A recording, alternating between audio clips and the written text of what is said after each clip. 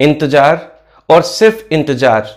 एक बेरोजगार युवा सिर्फ़ इंतज़ार करता रह जाता है, और सरकारें अपने मज़े में चलती रहती हैं। सरकारें बदलती रहती है, पर बेरोजगार युवाओं का इंतज़ार कभी भी खत्म नहीं होता। सबसे पहले तो वह एक आश्वासन का ही इंतज़ार करता है कि कोई भी नेता हमें नौकरी का एक बस दिलासा भर दे दे। जब दिलासा मिल जाती है तो इंतज़ार करता है कि वैकेंसी कब आएगी। जब वैकेंसी आ जाती है तो फिर उसका सिलेबस कब आएगा। जब सिलेबस आ जाता है तो परीक्षा कब होगी? वह डेट ही नहीं आती। सालों गुजर जाते हैं इस इंतज़ार में। आखिर ये सरकारों का सिस्टम कब सुधरेगा? यह भी एक इंतज़ार रहता है। कब वह देवदूत आएगा जो इस सिस्टम को सुधारेगा और युवा बेरोजगार बेचारा इंतज़ार करता रह जाता है? हाँ दोस्तों, दैनिक भास्कर की इसी न्यूज़ के साथ मैं अमित कुमार खत्री आप सबका स्वागत करता हूँ। और अगर आप चैनल पर नए हैं तो चैनल को सब्सक्राइब ज़रूर कीजिए और वीडियो को एंड तक देखिए।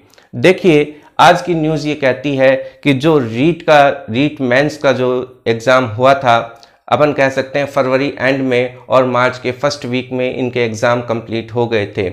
उस समय बोर्ड अध्यक्ष ने ये कहा था कि हमारी सारी तैयारियाँ कंप्लीट हैं और हम जल्द से जल्द रिज़ल्ट जारी कर देंगे, लेकिन इंतज़ार हमारा बढ़ता जा रहा है। एक बेरोज़गार युवा सिर्फ़ इंतज़ार करता जा रहा है।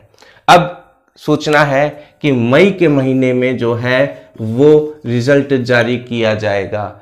आखिर इस रिज़ल्ट में देरी क्यों की जा रही है? अब देखिए, हम कह सकते हैं कि कहीं ये सिर्फ़ और सिर्फ़ पॉलिटिक्स तो नहीं है कि युवा सिर्फ़ एक उलझा रहे और ना नौकरी देनी पड़े, ना ही कोई बात। अब देखिए, अगर रिज़ल्ट समय पर जारी हो तो जुलाई तक जो है वो ज्वाइनिंग हो जाती। अपन कह सकते हैं कि पाँच जुलाई से लेकर के पंद्रह जुलाई तक ज्वाइनिंग हो जाती। लेकिन जब रिज़ल्ट ही नहीं है तो काय की ज्वाइनिंग ज्वाइनिंग में और लेट होगी। क्यों लेट आखिर हो क्यों रही है? कहते हैं कि जो रिज़ल्ट पर आपत्तियाँ आई है सितहत्तर हज़ार आपत्तियाँ आ गई है। कर्मचारी चयन बोर्ड के अध्यक्ष ने कहा है कि ये जो सितहत्तर हज़ार आपत्तियाँ आई है, इन आपत्तियों के निराकरण में अभी और समय चाहिए और रिज़ल्ट में देरी होगी। रिज़ल्ट में आखिर कितनी देरी होगी? क्या मई के फ़र्स्ट वीक में तो रिज़ल्ट आ जाएगा? अब देखिए मित्रों, यहाँ पर ही कंफ्यूजन है कि आखिर ये रिज़ल्ट जो है कब तक आएगा। क्या पता मई में ये कह दे, नहीं, अभी तो थोड़ा सा और समय लगेगा। तो बेरोजगार युवा तो सिर्फ़ इंतज़ार ही करता रह जाएगा। अब ये रिज़ल्ट में देखिए देरी क्यों हो रही है?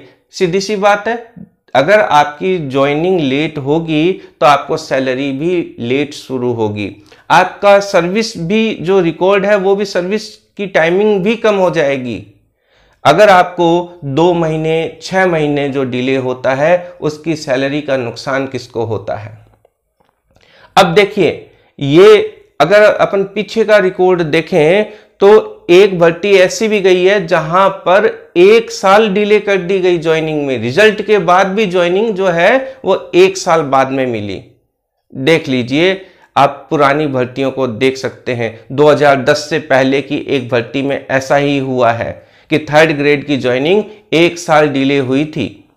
अब देखिए, अब इसका हल क्या है? देखिए, सरकार पर दबाव बनाया जाए कि जल्दी रिज़ल्ट घोषित हो और जल्द से जल्द हमें ज्वाइनिंग मिले।